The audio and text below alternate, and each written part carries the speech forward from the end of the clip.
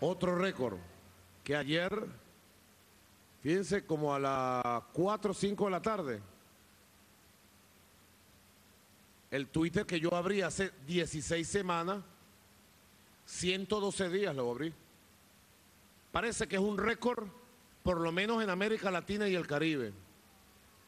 El hecho, después del comandante Chávez, vamos a estar claro, ¿no?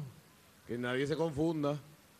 Después del comandante Chávez, que apenas en 112 días, 16 semanitas, yo ayer llegué a la cifra de 1.300.000 seguidores en Twitter. 1.300.000 seguidores. Rumbo a varios millones. Ahora eso, eso, ¿ustedes se enteraron por la prensa de eso? Lo ocultan, le tienen miedo. Yo convoco a toda la juventud venezolana, a todo el pueblo de Venezuela. Vamos al combate en las redes sociales, en Twitter, en Facebook, con la verdad de Venezuela desde ya. Quien no tenga un Facebook, quien no tenga un Twitter, que lo abra. Y vamos al combate en las redes. Candán, a la tropa, con todo el mundo. Con la ola bolivariana.